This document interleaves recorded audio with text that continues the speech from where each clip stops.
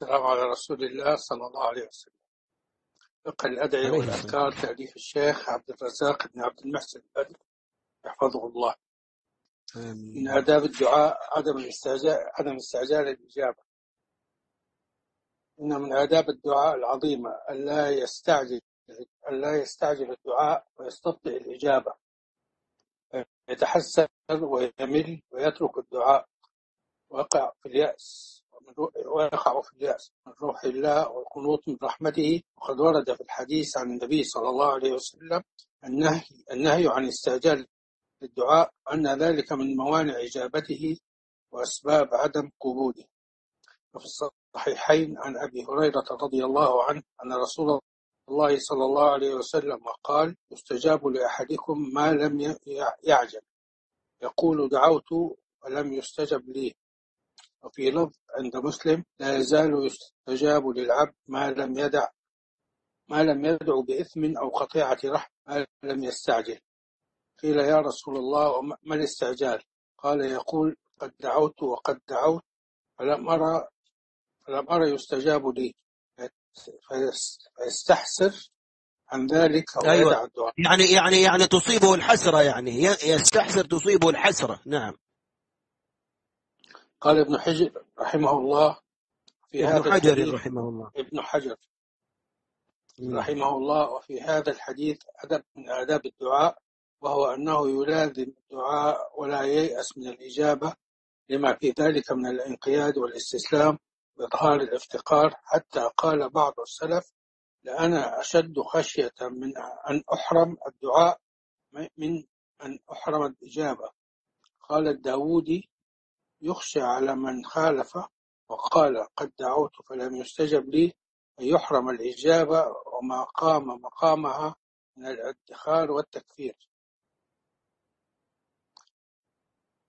ونق- ونقل ونقل عن ابن بطال أنه قال في شرح الحديث المعني المعنى أنه يسأم فيترك الدعاء فيكون كالمان بدعائه أو أنه يأتي من الدعاء ما لم يستحق ما لم يستحق به الإجابة. فيصير كالمبخل للرب الكريم الذي لا تعجزه الإجابة ولا ينقصه الدعاء.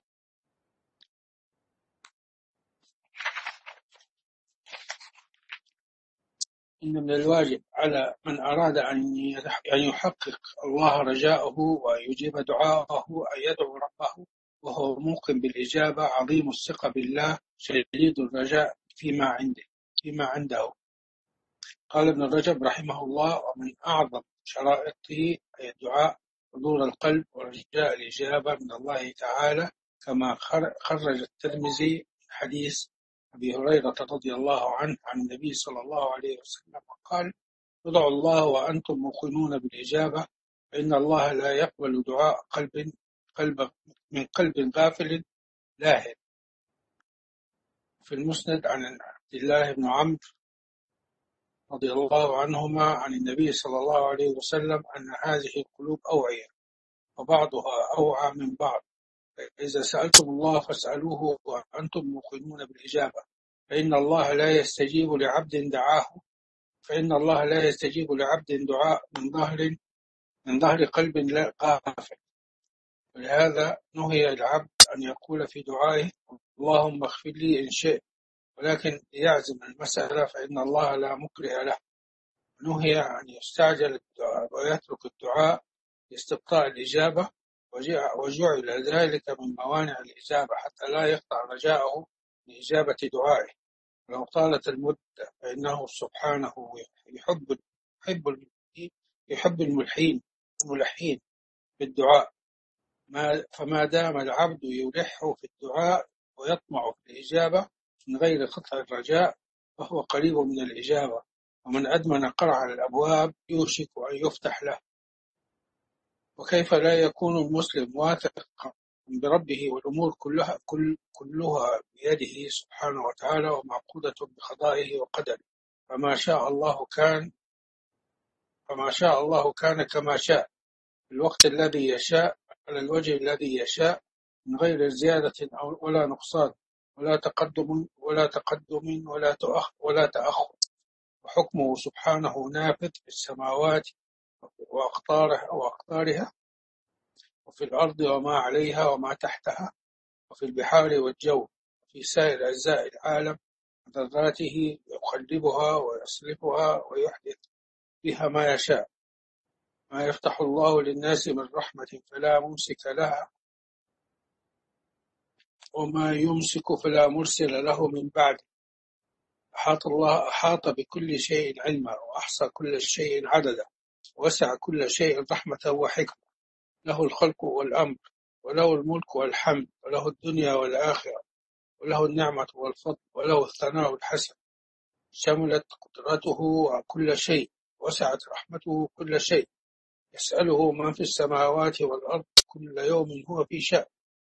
لا يتعاظمه ذنب أن يغفره ولا حاجة يسألها أن ولا حاجة يسألها أن يعطيها. ولو أن أهل سماواته وأهل أرضه إنسهم وجنهم حيهم وميتهم صغيرهم وكبيرهم رطبهم ويابسهم قاموا في صعيد واحد فسألوه, فسألوه وأعطى كل واحد منهم سؤلة ما نقص ذلك مما عنده مثقال ذرة. إنما أمره إنما أمره إذا أراد شيئا أن يقول له كن فيكون.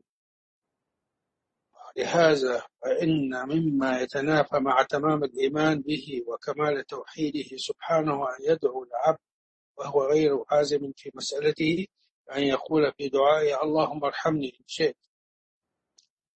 اللهم اغفر لي إن شئت. اللهم وفقني إن شئت. ونحو ذلك لما في ذلك القول من إيهام الاستغناء عن الله وعدم الثقة فيما عنده. وفي الصحيحين عن أبي هريرة رضي الله عنه قال قال رسول الله صلى الله عليه وسلم لا يقولن أحدكم اللهم اغفر لي إن شئت اللهم ارحمني إن شئت ولكن ليعزم المسألة ويعظم الرغبة فإن الله تعالى لا يتعاظمه شيء أعطاه هذا لفظ مسلم. وفي الصحيحين أيضا من حديث أنس بن مالك رضي الله عنه قال قال رسول الله صلى الله عليه وسلم إذا دعا أحدكم فليعزم بالدعاء ولا يقل اللهم شئت فأعطني فإن الله لا مستكره له. ولو أو وقد أورد الإمام المجدد شيخ الإسلام محمد بن عبد الوهاب رحمه الله هذا الحديث في كتاب التوحيد وترجم له بقوله باب قول اللهم اغفر لي شئت وهو رحمه الله. ينبه بهذه الترجمة إلى أن عدم العزم في الدعاء وتعليقه بالمشيئة مما يتنافى مع التوحيد الواجب الذي ينبغي أن يكون عليه المسلم. لأن قول القائل اللهم اغفر لي من شيء يدل على فتور في الرغبة وقلة الاهتمام في الطلب. وكأنه وكأن هذا القول يتضمن أن أن هذا المطلوب حصل أو وإلا استغني عنه إلا استغنى عنه. ومن كان ومن كان هذا حاله لم يتحقق منه الافتقار والاضطرار الذي هو روح العبادة ولبها وكان ذلك دليلا على قلة معرفته بذنوبه وسوء عاقبتها وقلة معرفته برحمة ربه وشدة احتياجه إليه وضعف يقينه بالله عز وجل وإجابته للدعاء. ولهذا في الحديث وليعزم المسألة أي ليجزم في طلبه ويحقق رغبته. ويتيقن الإجابة فإن فإن فإنه إذا فعل ذلك فدل على علم على علمه بعظيم ما يطلب من المغفرة والرحمة.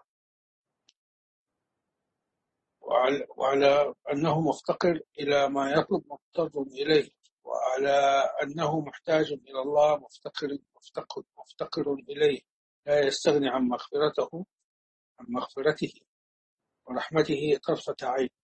ولهذا فأن الواجب على المسلم إذا دعا الله أن يجتهد ويلح في الدعاء ولا يقل إن شئت تستثني بل يدعو دعاء البائس الفقير بإلحاح وصدق وجد واجتهاد مع الثقة الكاملة بالله والطمع فيما عنده وحسن الظن به سبحانه وهو جل وعلا يقول كما في الحديث القدسي أنا عند ظن عبدي بي وأنا حين وأنا معه حين يذكرني. أخرجه البخاري ومسلم في صحيحهما.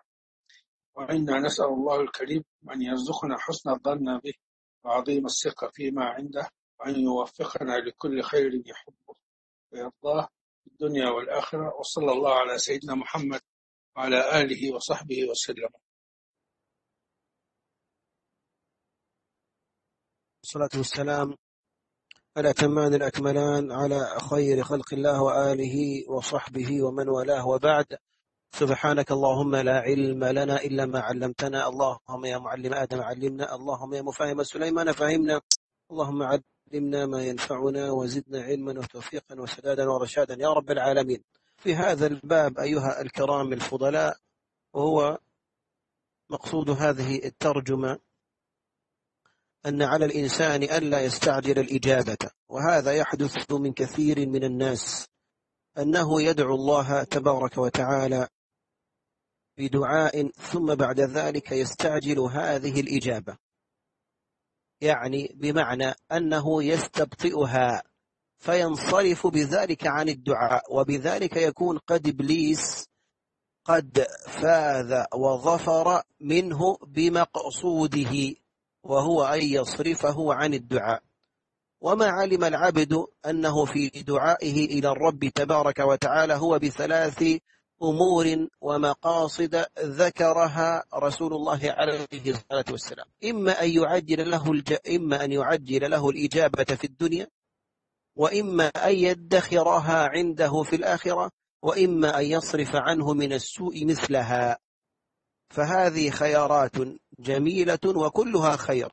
إن عجل لك مقصودك في الدنيا خير وإن بقي إلى الآخرة إلى الآخرة فهو خير فوق خير وإن صرف عنك من السوء مثله وزيادة فهو خير فوق خير فوق فوق خير. الحاصل أيها الكرام الفضلاء أن الإنسان عليه ألا يستعجل الدعاء وألا يستبطئ الإجابة فيستحسر مع بذلك ويذهب عنه هذا المقصود هذا المقصود العظيم. وعليه أن يعلم أن من موانع الإجابة وأسباب عدم قبول الإجابة الاستعجال في الدعاء. هكذا الناس يقولون دعونا فلم نرى الإجابة. نقول إن استعجالك هو الذي منع الإجابة. نعيد. يقول دعوت فلم أرى إجابة. نقول إن استعجالك هو الذي منع ها منع عنك الإجابة. والحديث والدليل حديث النبي عليه الصلاة والسلام في الصحيح يستجاب لأحدكم ما لم يعجل. وكلمة لأحدكم نكرة مضافة يدخل فيها الذكر والأنثى والكبير والصغير والحر والعبد إلى غير إلى غير ذلك. ولما قال ما لم يعجل دل أن هذا هو الشرط وهذا هو جوابه أن العجلة تمنع الإجابة تمنع الإجابة. ثم أج ثم فصل بعد إجمال فبين بجملة مقول القول يقول دعوت فلم يستجب لي. يعني هذا هو السبب. ما هو؟ طيب إيش معنى؟ ما معنى العجلة هنا؟ يقول دعوت فلم يستجب لي. وهذا إما أن يقولها بلسان الحال أو بلسان المقال وإما أن يقولها بينه وبين نفسه أو بينه بين أو بينه وبين الآخرين وهو منهي عن ذلك جميعا أيها الكرام الفضلاء. ثم بعد ذلك أيها الكرام الفضلاء من ما أيضا من الآداب التي ينبغي أن تكون في الدعاء أنه يدعو بعدم قطيعة الرحم والإثم. قال صلى الله عليه وسلم عند مسلم لا يزال يستجاب للعبد ما لم يدع بإثم أو قطيعة رحم. يعني الناس الذين يدعون بقطيعة الأرحام ويدعون بفعل الآثام فإن هؤلاء يعد دعاؤهم من الدعاء المردود ويعد فعلهم من الاعتداء في الدعاء. وأيضا من الأمور المهمة التي يقع عند كثير من الناس إما على سبيل اللمم من القول أنه يأتي إليك ويقول لك الله يزوجك إن شاء الله الله يغفر لك إن شاء الله الله يوفقك إن شاء الله. كل هذه من المناهي اللفظية التي جاء الشارع بمنعها. قال عليه الصلاة والسلام كما عند مسلم لا يقول أحدكم رب اغفر لي إن شئت. وليعزم المسألة فإنه لا مستكره له. ما في شيء يكره الله حتى يحتاجك أنك أنت جزاك الله خير تستثني. فتقول يا رب اغفر لي إن شئت لا قول على طول رب اغفر لي رب زوجني رب اقض ديني رب يسر أمري وهكذا. دون أن تأتي بلفظة إن شاء إن شاء الله. أيضا يدخل في هذا الباب حسن الظن بالله تبارك وتعالى. قال الله عز وجل في الحديث القدسي الصحيح أو في الحديث الإلهي الصحيح وكلمة الإلهي أفضل من كلمة القدسي. إن كلمة الإلهي كلمة السلفية الحديث الإلهي. أما الحديث القدسي كلمة عند المتأخرين. أما الأوائل من السلف فيقولون الحديث الإلهي. في هذا الحديث الإلهي يقول أنا عند ظن عبدي بي فليظن بي ما شاء. فإذا أحسنت الظن بالله كان الله عز وجل عند حسن الظن. وإن أسأت الظن به عياذا بالله كنت عند ذلك السوء من الظن. ولذلك الله عز وجل يحذر الظانين بالله ظن السوء عليهم دائرة السوء وغضب الله عليهم ولعنهم وأعد لهم عذابا عظيما. هذا أيها الكرام الفضلاء ما كان من هذه الفوائد في هذا الباب من آداب الدعاء. ونسأل الله عز وجل أن يعيننا على دعائه حسن الدعاء وأن يستجيب لنا وأن ينجينا من موانع الدعاء. وصلى الله على نبينا محمد وآله وصحبه وسلم وآخر دعوانا أن الحمد لله رب العالمين. جزاك الله خير. جزاكم الله خير شيخ. بارك الله فيك.